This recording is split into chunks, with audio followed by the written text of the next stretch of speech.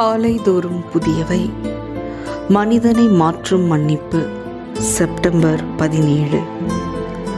பிதாவே இவர்களுக்கு மன்னியும் தாங்கள் செய்கிறது இன்னதென்று அறியாதிருக்கிறார்களே என்றார்.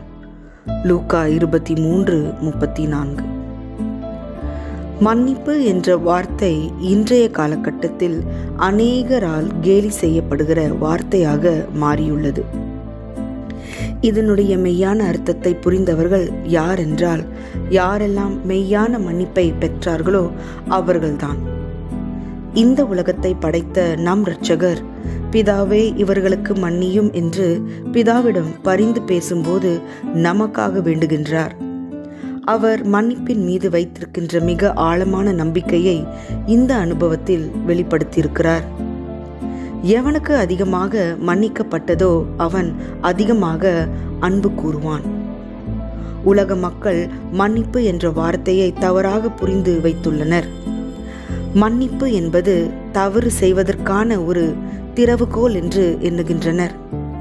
நம் ஆண்டவர் ஒரு காரியத்தை சொல்லுகிறார் என்றால் அது நிச்சயமாக தவறாக இருக்காது. பேதுரு ஒருமுறை கிறிஸ்துவிடம் என் சகோதரன் எனக்கு விரோதமாக தவறு செய்தான் என்றால் நான் எத்தனை முறை மன்னிக்க வேண்டும்? என்று கேட்டதற்கு ஏழு எழுபது முறை மன்னிக்க வேண்டும் என்று கூறினார். பிரியமானவர்களே ஒரு மனிதனுக்கு எத்தனை முறை மன்னிக்க வேண்டும்? என்று சொன்ன நம் ஆண்டவராகிய கிறிஸ்து எத்தனை முறை நம்முடைய பாவங்களை மன்னித்து இருக்கிறார் மெய்யாகவே இதனை நாம் உணர்ந்தோம் என்றால் பாவத்திற்காக நாம் மறித்திருக்கிறோம் என்ற எண்ணம் நம் உள்ளத்தில் உணர்த்தப்படும். பாவம் செய்ய வேண்டும் என்ற எண்ணமே நமக்கு வராது. நாம் பாவத்திற்கு பிழைத்திருக்கிறோம் என்ற உண்மை நமக்கு தெரிய வரும். மன்னிப்பினுடைய வல்லமை நிச்சயமாக மிகவும் வலிமையானது. இயேசு கிறிஸ்து சகேயுவிடம் அதை காண்பித்தார். சகேயு இயேசுவை பார்க்க வேண்டும் என்ற ஆவலோடு காட்டத்தி மரத்தில் ஏறியதை அறிந்த இயேசு அவனுடைய வீட்டிற்கு சென்று அவனோடு பந்தியிருந்தார். இந்த நிகழ்வு சகேயுவின் உள்ளத்தில் மன்னிப்பின் அனுபவத்தை உணர செய்தது.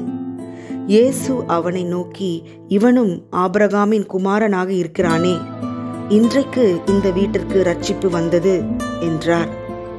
பிரியமானவர்களே மன்னிப்பு மனிதனை மனிதனாக மாற்றுகிறது.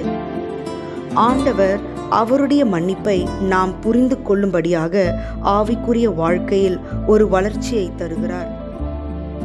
புரிந்து கொள்வோமா மன்னிப்பின் வலிமையை? தேவன் தாமே ஆசிர்வதிப்பாராக. மனிதனை மனிதனாக மாற்றுகிற மன்னிப்பை வெளிப்படுத்த உதவி செய்யும் என் தேவனே என்று ஜெபிப்போம். ஆமேன்.